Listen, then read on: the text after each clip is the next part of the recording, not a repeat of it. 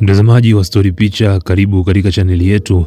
Awali ya yote, usahau kusubscribe katika chaneli yetu uwe wa kwanza kupata kila stori ambayo tutakuwa tunaiweka. Mtazamaji, katika chaneli hii utaweza kujifunza mambo mbalimbali ikiwemo afya ya uzazi, afya kiujumla, michezo pamoja na burudani.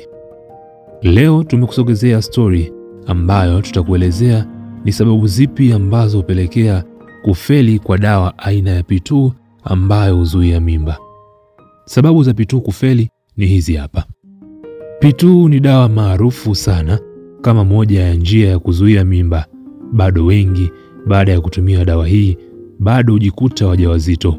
Leo tutakuelewesha kwa nini unatumia P2 na bado unapata ujauzito.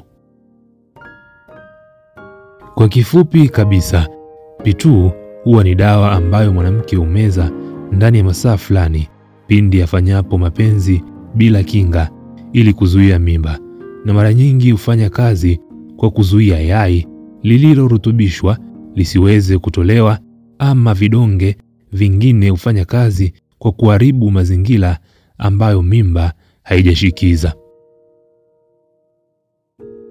Ufanisi wa dawa hizi sio asilimia mia moja, japo ufanisi wake huongezeka kadri unavyotumia dawa hizo muda mchache ukimaliza kufanya mapenzi kwa wasichana au wanawake.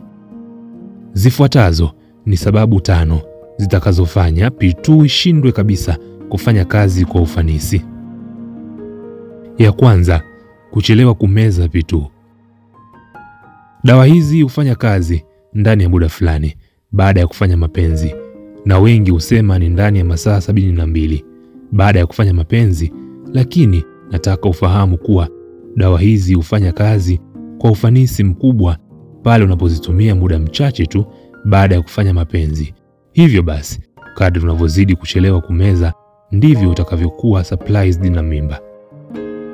Sababu nyingine ni kutapika. Miongoni mwa maudhi madogo madogo ya hii dawa, yani side effect, baada ya kutumia dawa hizi ni kichefuchefu. Sasa hapo baadhi ya wanawake wanaweza kuhimili na wasitapike.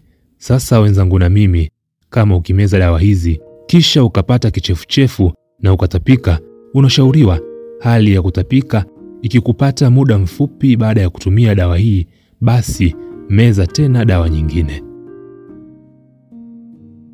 Sababu nyingine ni hii hapa, kama utameza P2 baada ya ovulation. Hapa wengi ndipo huangukia pua kwa kufahamu ni lini ovulation inatokea. Kimsingi ni kwamba ovulation ni kitendo cha yai lililorutubishwa kutolewa na ovari na kujiandaa kukutana na yai la kiume. Sababu nyingine ni hii hapa, uzito mkubwa.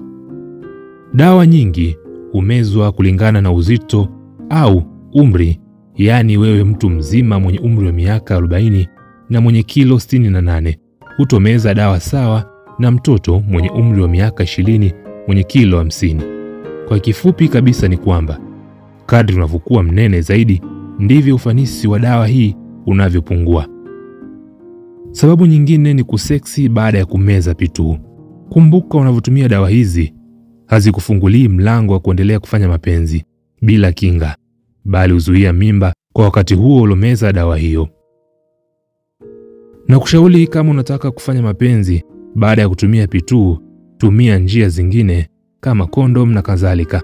Na P2 iliyomezwa jana au juzi huenda isiwe na msaada kama utashiriki kesho. Usisahau kusubscribe katika chaneli yetu uwe wa kwanza kupata kila stori ambayo tutakuwa tunaiweka. Karibu sana na nikutakie siku njema.